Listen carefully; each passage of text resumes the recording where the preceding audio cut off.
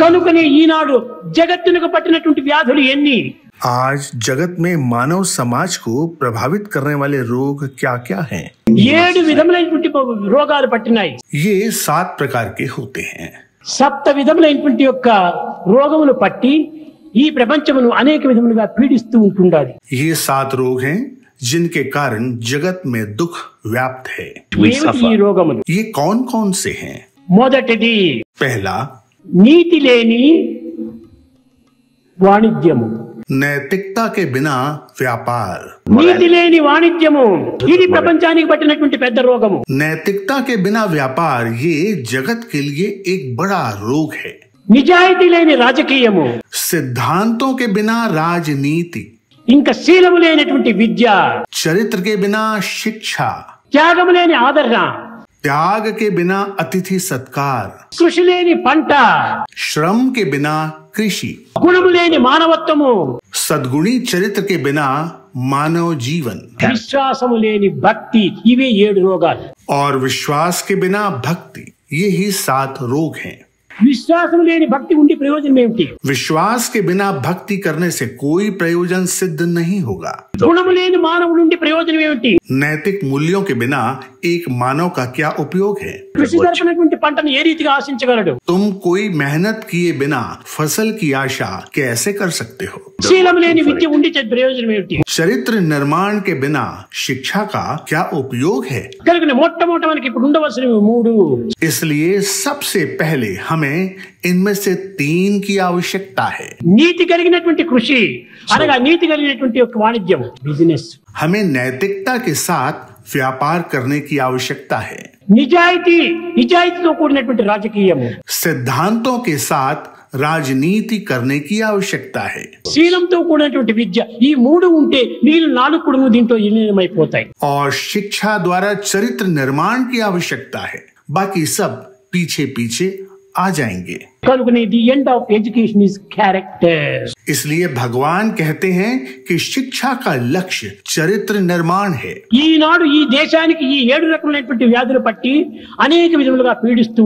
इन सात रोगों ने संपूर्ण मानवता को पीड़ित कर रखा है। अशांति दुखम भयम चारों ओर अशांति भय और विपत्ति है। కనుక మనము ఈ ఏడింటిని చక్క చేసుకోవడానికి ప్రతి మానవుడు కూడా కంకణం కట్టుకోవాలి इन सात रोगों को जड़ से उखाड़ने के लिए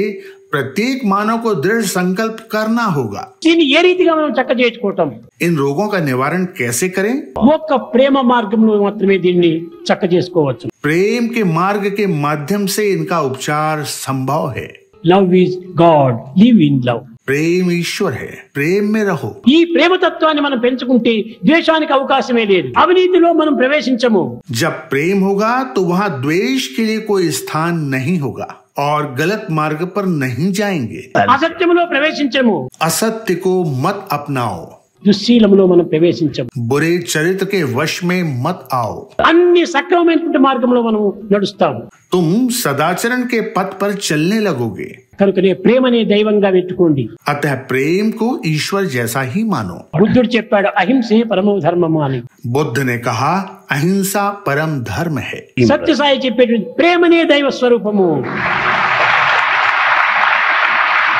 అందరినీ ప్రేమించండి सत्य साई कहते हैं प्रेम ईश्वर का ही स्वरूप है सबसे प्रेम करो सबसे प्रेम करो ప్రేమ ఒక్కటే భగవంతుని యొక్క సొత్తు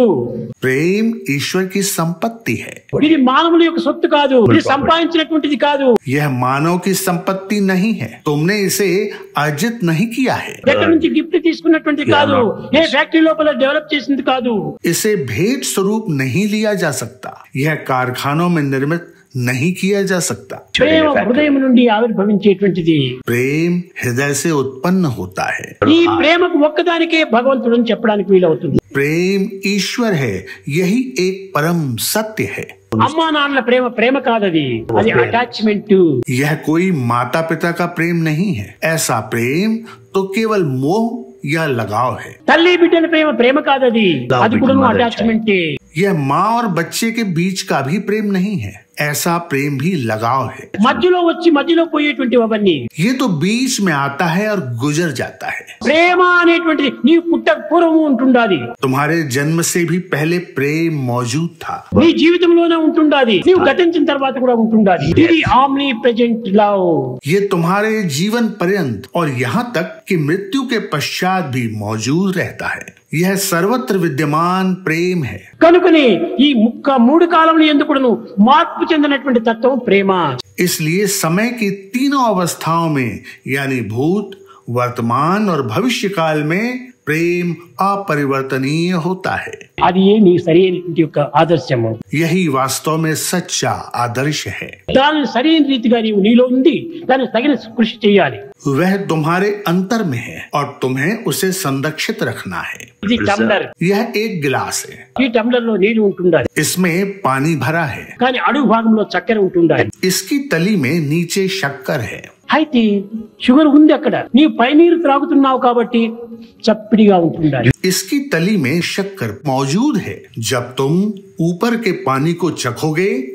तो वह स्वादहीन लगेगा ఒక స్పూన్ తీసుకో एक चम्मच लो దాని లోపల వేయి చక్కగా తిప్పు उसे अंदर डालो और हिलाओ అడుగునున్నటువంటి చక్కెర అన్ని భాగంలోనే ప్రవేశిస్తుంది ऐसा करने पर तली की शक्कर पूरे पानी में घुलकर मिल जाएगी ఇప్పుడు ఈ చక్కెర ఎక్కడ ఉంటుండాది वो शक्कर अब कहाँ है నీ జలంలో సర్వత్రా ఉంటుండాది वो शक्कर अब पूरे पानी में विद्यमान है దీనికి త్రిప్పకమునుపు ఎక్కడ ఉంటుండాది అడుగు భాగంలో మాత్రమే ఉంటుండాలి तुम्हारे हिलाने के पहले वह शक्कर कहाँ थी वह तली में मौजूद थी అదే రీతిగా నీ హృదయమే ఒక కప్పు तुम्हारा हृदय एक कप के समान है అందులోనే అడుగు భాగంలో డివినిటీ అనేటువంటి షుగర్ ఉంటుండాలి वहाँ दिव्यता रूपी शक्कर तली में मौजूद है నీకు తగినటువంటి బుద్ధి అనేటువంటి స్పూన్ తీసుకో. బుద్ధికి చెమ్మచ్చులు चम्मच लो సాధన అనేటువంటి కలుపు కలుపు अपने आध्यात्मिक अभ्यास के साथ उसे हिलाओ అప్పుడు ఆ డివినిటీ అనేటువంటి ఒకటి సర్వాంగంలోన ప్రవేశిస్తుంది तब दैवत्व सभी तरफ प्रवेश कर सर्वत्र व्याप्त हो जाएगा చేసే పనుల్లోన స్వీటే कर्म मधुर होंगे నడిచే నడకలో స్వీటే व्यवहार मधुर होगा చెప్పే మాటలో స్వీటే वचन मधुर होंगे చూచే చూపులో స్వీటే दृष्टि मधुर होगी వినే మనసులో స్వీటే सुनना मधुर होगा और मन भी मधुर होगा సర్వం మధురమయం మధురమయం మధురమయం सब कुछ मधुर हो जाएगा मधुरम मधुरम मधुरम కనుక ఈనాడు నువ్వు చేయవలసింది ఏమిటి నీలోనే ఉంటుండదు ఆ మధురం इसके लिए आज तुम्हें क्या करना चाहिए यह मधुरता तुम्हारे अंदर है కనుక నీ బుద్ధి అనేటువంటి దానిని ఆ అంతర్భాగముగా మార్చుకో अतः तुम्हारी बुद्धि को अपने भीतर की तरफ मोड़ो దాంట్లో ప్రేమ అనేటువంటి దాంతో కలుపు దాని చక్కగా उसे प्रेम के साथ मिला दो అప్పుడే అది సర్వత్రా వ్యాపించిపోతుంది तब चारों ओर प्रेम फैल जाएगा सब कुछ प्रेममय हो जाएगा समस्तलोक